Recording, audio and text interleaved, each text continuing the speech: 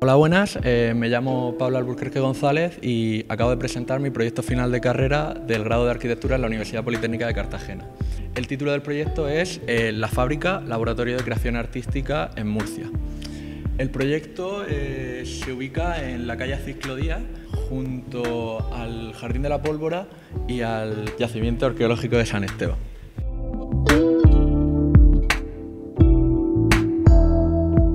Se trata de la recuperación del edificio histórico de la Real Fábrica de Salitres y su puesta en valor eh, mediante la implantación de un programa cultural multifuncional eh, que, actúe de vivero para todas aquellas disciplinas artísticas que lo precisen. El objetivo de este proyecto es eh, dar vida de nuevo a un edificio abandonado y caído en desuso mediante un programa cultural y artístico para toda la ciudadanía.